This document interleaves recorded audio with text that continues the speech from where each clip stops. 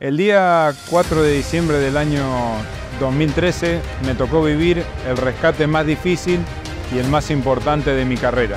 Se dio el naufragio de la embarcación del velero La Rosa Salvaje, donde sus dos tripulantes, de origen canadiense, quedaron a la deriva en horas de la noche. En ese momento yo me encontraba desempeñando funciones como jefe de la estación aérea Comodoro Rivadavia y como comandante de helicóptero Dofín.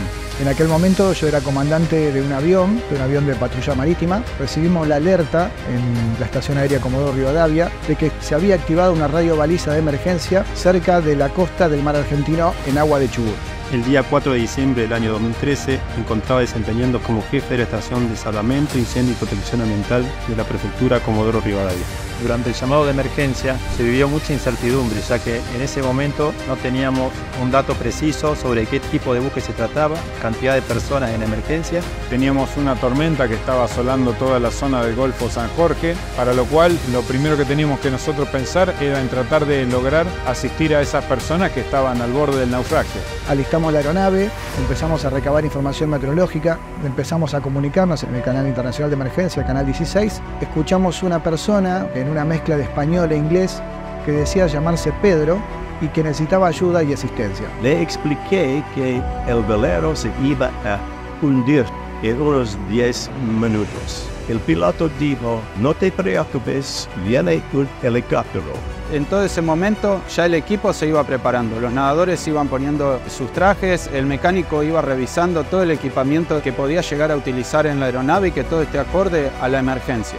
Los nadadores de rescate, en cuanto nos pusimos en apresto, nos fuimos hacia el helicóptero a esperar la orden de salida. También en la zona se encontraba navegando a unas 50 millas de distancia un buque tanque. Tomé la decisión de comunicarme con uno de ellos, le solicitamos que prenda todas sus luces de cubierta de manera a darle alguna referencia al helicóptero. Toda la maniobra se desarrolló en conjunto porque el avión no solo localizó a la embarcación en la posición correcta, sino también mantenía una comunicación fluida con el buque tanque, con nosotros y con la estación costera.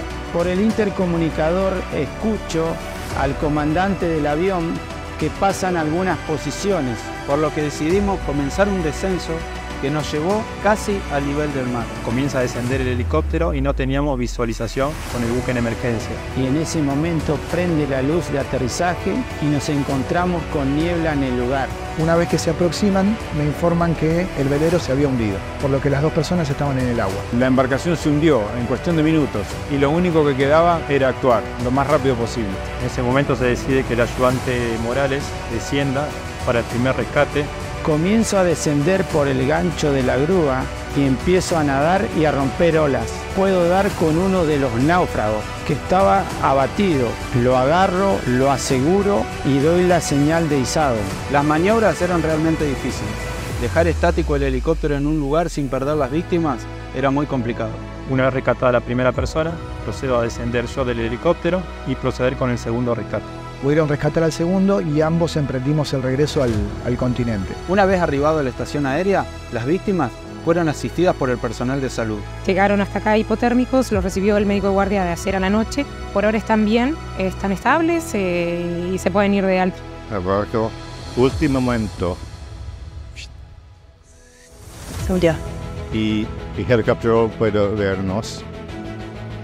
Y los dos hombres, uh, una por mi medio y otra por mí.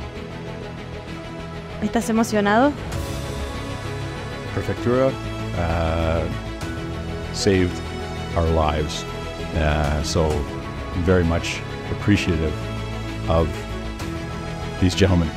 Han transcurrido 10 años de ese momento. Por suerte, gracias a la capacidad y al trabajo en equipo, logramos que la situación se pudiera realizar. Todo gracias a nuestra gente, al gran equipo de trabajo, fuimos premiados en España por la Unión Europea de Nadadores de Rescate y al valor excepcional en el mar por la Organización Marítima Internacional. Si bien ya habíamos participado y todos teníamos experiencia en operaciones de rescate, nunca nos había sucedido una, una experiencia de este tipo. Esta misión fue la más difícil de mi carrera como nadador de rescate.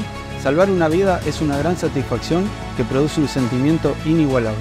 Continúo en comunicación con los asistidos, en el cual siempre están en agradecimiento con la Prefectura Naval Argentina.